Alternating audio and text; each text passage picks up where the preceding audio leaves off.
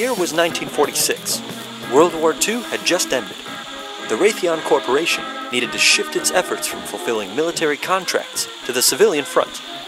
They had already performed many experiments with magnetrons, radar tubes that generate microwave radiation.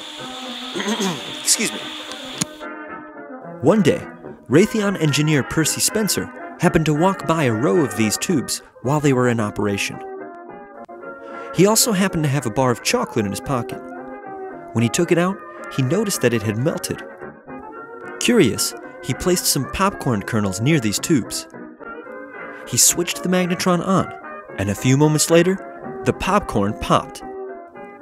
Knowing that he was onto something, Spencer exposed a raw egg to these waves.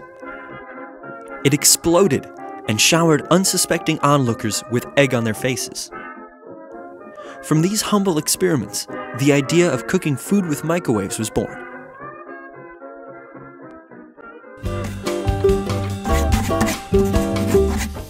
Now, what are microwaves?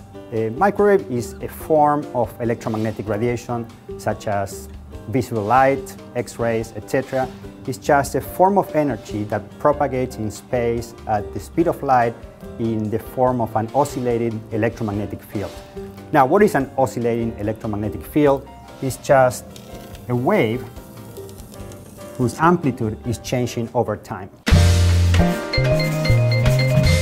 Now, why does water absorb microwave radiation?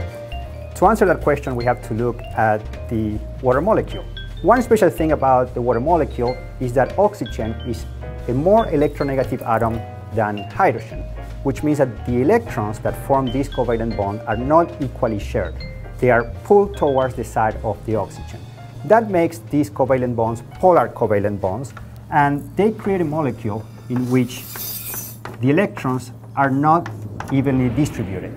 The oxygen that has a higher electron density is going to carry a partial negative charge density, while the hydrogens are going to be left with a partial positive charge density. Let's look at what happens when we put a water molecule in an electric field.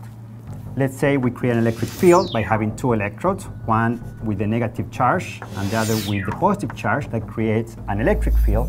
If water is put inside this field, water will orient itself such as it will point the oxygen with the negative charge density towards the positive side of the field and the hydrogens with the positive charge density towards the negative side of the field. If water is exposed to a wave like this, water will have to orient itself according to the cycle of the wave. In microwaves, this oscillation happens about 2 billion times per second, which means that water molecule exposed to microwave radiation will force to orient itself many, many times per second. Here we have a very useful simulation that shows how microwave radiation interacts with water molecules. We can see that the oscillating electromagnetic field excites the rotation of the water molecules. Those water molecules collide with their neighbors and turn that rotational energy into translational energy or motion. And that is thermal energy, and we can see how the temperature of the system goes up. We're going to do a very simple demonstration to show that what heats up is the water in food.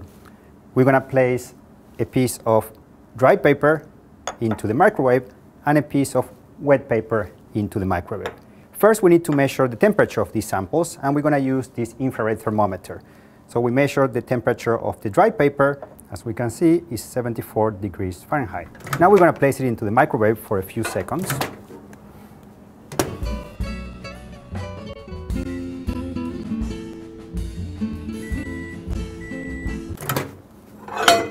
and we're going to measure its final temperature. As we can see, the temperature increased a few degrees because the paper trapped some moisture from the air.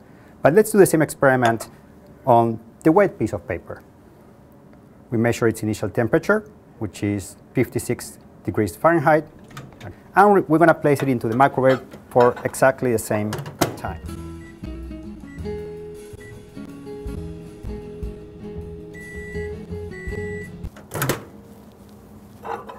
When we measure the final temperature of the wet paper, we can see that the temperature raised up to 127 degrees Fahrenheit. That's because the water content of the wet paper is much higher than the water content of the dry paper. The next time you reheat those leftovers in your microwave, we can't guarantee that you're going to get a great meal. But at least you'll know the physics and chemistry behind how your food is cooked.